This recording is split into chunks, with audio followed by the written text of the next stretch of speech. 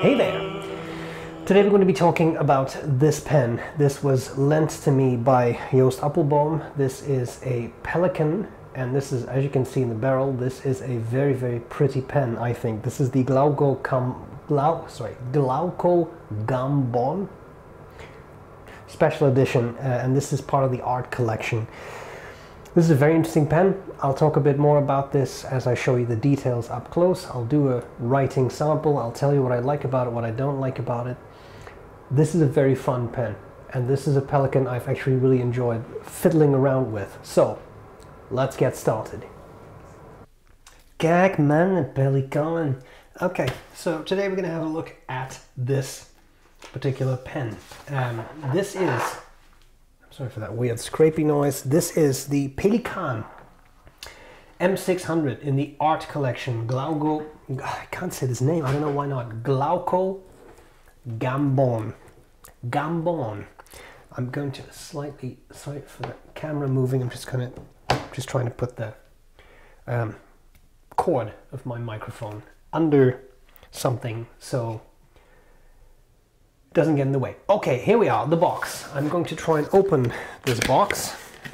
It has this outer sleeve and then you have a very nice box inside. I'm just putting it sideways so it'll fit in view. We have here a magnetic clasp. Opens up the pen condom. Then we have, the pen would go there. Um, and then we have this very nice artwork that is also on the pen. I'll show you that uh, in a second. Um, we have here, was that it? I thought there was a booklet. Okay, this is not easy to open. Letter opener to the rescue. Okay. Well, there we are. That was a waste of your time, but here we are. Uh, we got a booklet, which is quite nice. We get this sort of uh, um, print, art print on, on a thicker stock. And then we have the actual booklet. I'm just trying to reassemble this. Uh, the art collection, Pelikan, explanation, Glauco Gambon, got it this time. um, and then we have the actual pen. Uh, give me one second here as I yank out the pen. Here we go, and I will zoom in so you can actually see it. Okay, so here's the pen right next to a Pilot Metropolitan. This is an M600, uh, which is quite nice. And I'll talk a little bit about it. So it's 516 euros 53 cents. That's without VAT. The nibs are 14 karat, extra fine, fine, medium, broad. This has a fine nib. And this material, um, this, sorry, this, I should say this finish is based on Pelikan ad posters from different types of eras. In this case, avant-garde, the avant-garde era. Uh, and this one happens to be based on a poster by Glauco Gambon, who was uh, active or was alive, I should say, 1875 to 1930. It has 24 karat gold details, including on the clip, which is of course the stylized um, pelican. If you've never seen it before, it's kind of cute with the with the bill uh, and the eyes and such. Um, what's very interesting to me about this pen is the way it's made. So this barrel is a brass tube base then they make grooves, so it's kind of like a guilloche that creates a hologram effect. And then they add 10 layers of clear lacquer, and then there is a printed image colored on top of that. So that's kind of what I wanted to give you as background. There is a lot more information you can find online. Uh, the Pelikan's Perch did a fantastic review on this, which goes into great depth. Uh, so I, I really wanted to give you an overview here. And if you really want to know more about the pen, check out the Pelikan's Perch. Um, so there we have it. Let's look at the parts of this pen. So we have on top the finial. It's a little hard to see, capture in the light properly, but it's the pelican with its baby chick, right? We have the clip, like I said, a stylized uh, Pelikan bill, the eyes, the head, etc. Uh, we have the cap. It looks it almost looks blue, but I think that's just the light. I'm pretty sure that's a, a black. We have the center band. Um, it says Pelikan Souverän Germany. And then you have that beautiful barrel. Now I really have to show you that. So think back to that art poster you've briefly seen. This finish is really quite something. When it, when it does not catch the light, it almost looks like black. I'll show you that when I talk about likes and dislikes. When it does catch the light, it comes alive. And this is, to me, one of the most spectacular Pelikan finishes I have ever seen. And that's a lot for me to say. I like it much better than the tortoise. I like it better than, um, for me, than, than Maki-E, but that's a whole different class of pen. I think this looks super, super cool.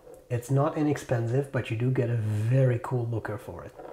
Okay, so we have that center band, we have some gold highlights there, we have the piston turning knob, it is a piston filler. You can unscrew the pen, you have a decently sized pen. The M600s are not huge, I think this is a size that works for a lot of people though. You can post it securely, then you get a very nicely sized pen. And I've always really enjoyed the Pelikan nibs not only because they write very nicely, but they look very pretty to me. Those deep grooves uh, on there, I think look very, very pretty. Uh, there's the Pelikan logo, 14C585 for the gold content and F for fine. Nice, um, I'm going to say plastic feed, maybe it's ABS. In any case, it is not ebonite. And then you have this section uh, tapers down, flares out a little bit, and you have these threads, which are a little bit sharp, but I'm not really bothered by them as I write. The only thing I didn't show you is the flexibility of the clip works very nicely. So what we should do next is a writing sample. And this year, uh, I'm, I'm, I ran out of Rhodia. I had to happen to have this uh, lying around. This is Ayush paper from India. Let me zoom out just the tiniest bit. So what we have here is the bear in mind this paper has a tiny bit of texture to it so it sounds it can make a nib sound a little scratchy. By no means is this a scratchy nib. If you don't mind i'm going to abbreviate art collection to ac and because i can't seem to pronounce his name claudio gambon i will write that out. We have a 14k fine nib and the ink is waterman and um, Serenity blue, just that washable blue. Very pleasant writer. Uh, for me, I prefer the slightly bigger pens. This section is a little short for me and I tend to feel those threads a bit. It's not hurting me, but they are a little sharp. So if you have larger hands, maybe see if you can try out any M600 uh, if, if, before you, you buy this to make sure it, it works for you. Beautiful writer though, very, very pleasant. Do a bit of fast writing, see how well the feed keeps up.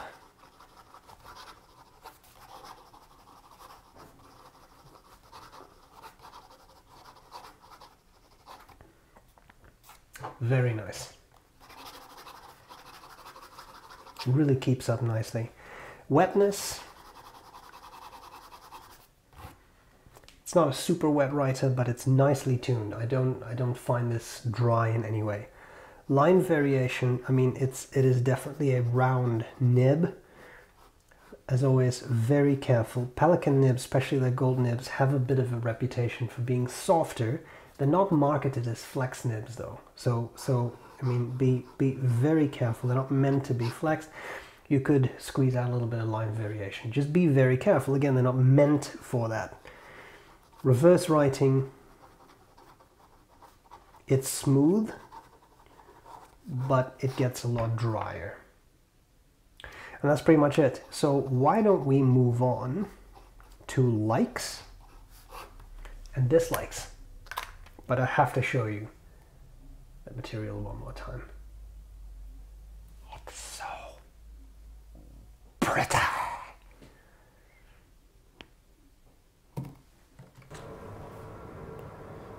What do I like and what do I not like about this pen? Well, there's a lot to like. this is a very subjective thing, but I think it's very attractive. The technique used to create that pattern on the barrel is very neat, does almost create something a bit, I almost want to say holographic. Um, I'm, I'm sure it's not quite that, but it, it does really stand out. It looks very nice up close. It looks cool from a distance. You have to hit the light exactly the right way because look this way it looks almost like a solid black pen. But once it hits the light fully you get that beautiful material sorry the beautiful effect I should say. Very attractive. I really like that. I also really like that they used a brass liner. The pen is by no means very heavy. However it feels solid it feels more solid than it would have if it would only have been resin I think that is that is really really nice. At the end of the day, the most important thing, of course, is that a fountain pen writes, and out of the box, this was a very pleasant writer. Fine nib, uh, no no specialty nib, just a fine nib. Wrote very nicely, and I've really had a lot of fun playing around with this pen, as I said before. Very attractive model, very nice writer. So these are some of the things I like. Now, what about things I don't like?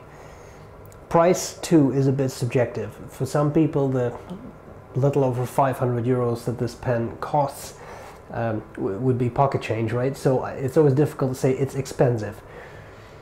It's certainly not cheap. I don't think anyone would say, oh yes, that's cheap, that's cheap. I, I don't think that.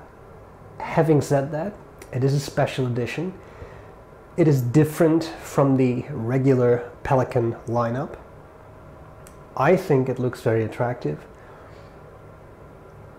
it's not just resin, right? With with the grooves made, with the guilloche, with everything they have done to create this effect. I do see how you would pay more for that. So that is, it's hard to say justified because people say that's way too expensive, right? But I mean, to me, I see where the price comes from more than in some of the regular Pelikans, for example. Not that there's anything wrong with them, but at the end of the day, those are machine made, resin only. So it, it, I think this is a little different. The one thing I will say is the downside to this brass, sorry, I'm just trying to get my feet behind my desk chair and I'm very well coordinated on the best of days. anyway, the one thing I will say about the brass liner is it eliminates any translucency. If you have the regular striped Pelikans, you hold them up to the light, you can see how much ink is in the pen. With this pen, you cannot. I'm holding it up to, a, there's a window right there, bright window. I can't see a thing. Why would I? It's lined with brass, isn't it?